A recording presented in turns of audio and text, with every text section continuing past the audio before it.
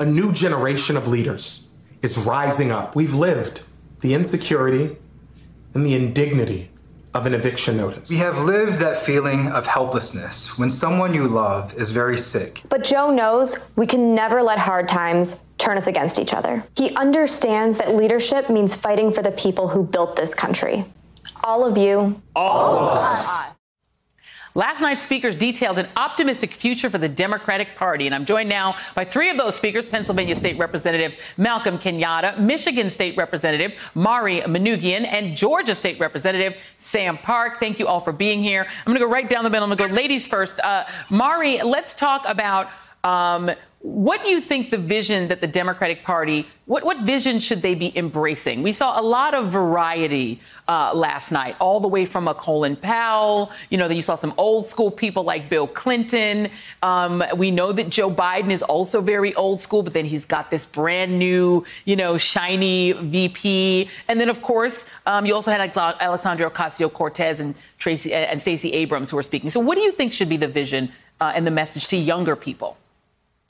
So I think the message and vision for younger people is that the Democratic Party is inclusive of everyone.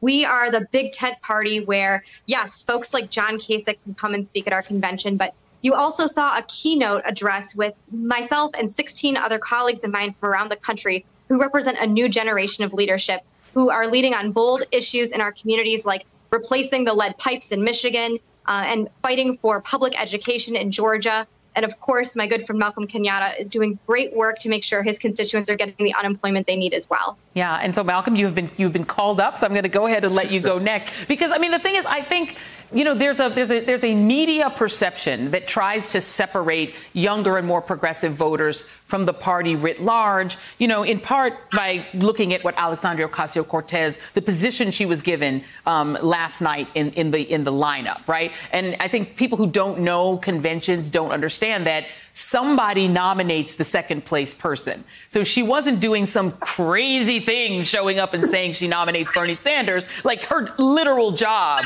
was to nominate to place his name in nomination because it's a courtesy that's given to yep. the person who finishes second. So that happens every time, everybody who freaked out.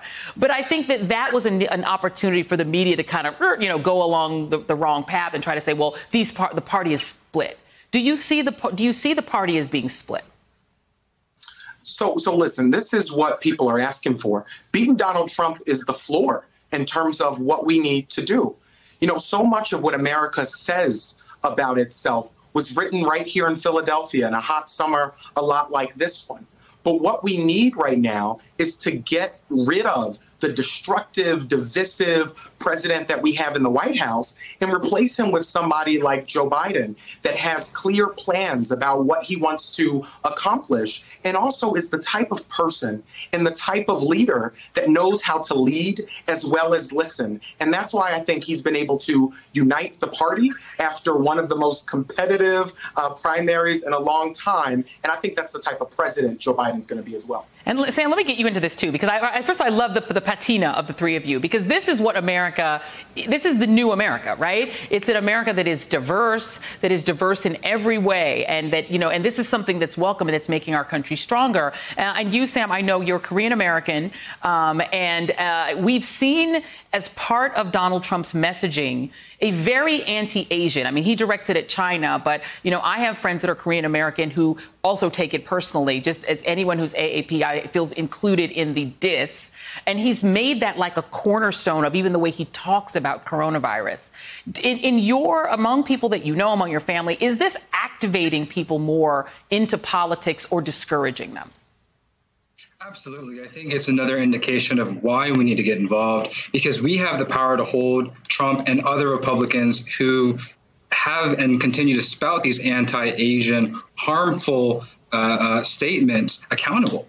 Uh, we, the people, have the power. And, and I think this November, we're united in our desire uh, to get folks like Biden and Democrats across this country elected to do just that. Yeah, and you guys are in some critical, critical states. Uh, I'm going to play a little bit of Alexandria Ocasio Cortez. Again, doing the thing she was tasked to do, people. By now, but this was the part of her speech. This isn't the nominating part, but here's a part of her speech a mass people's movement working to establish 21st century social, economic, and human rights including guaranteed health care, higher education, living wages, and labor rights for all people in the United States. A movement striving to recognize and repair the wounds of racial injustice, colonization, misogyny, and homophobia. I'm going to start again with ladies first, Mari. How does how does that get done? Because listen, you all are state representatives. A lot of this work actually takes place in the states, not at the federal level. How do you pragmatically, and I'll ask each of you to answer that question, how do you pragmatically do those things? Well, I'll tell you right now, here in Michigan, we are absolutely deeply focused on flipping the state legislature. We are four seats down from taking majority. You had our amazing governor, Gretchen Whitmer, on earlier on your show, and we adore her in my caucus for sure. And we need to give her a majority to work with. And so that is what we are focused on right here. And of course, you know, our caucus is reflective of the diversity of the Democratic Party. You have uh, folks who are born and bred in the labor movement, and you have brand new folks who are brand new to politics that ran for office the first time in 2018 who see you know environmental justice as their most important cornerstone issue. And so this is a big tent a party, and our caucus is a big tent caucus. So in Michigan, we're focused on flipping the legislature. And Sam, you're in a tough state. Georgia is it's difficult for a lot of reasons. You don't have a very cooperative Secretary of State. You don't have a very cooperative, uh, you know, state government. And so, how do you make those kind of changes in a state where you're getting that kind of a fight? I think Stacey Abrams demonstrated it perfectly, which was to empower people by getting them registered to vote and then fighting for free and fair elections.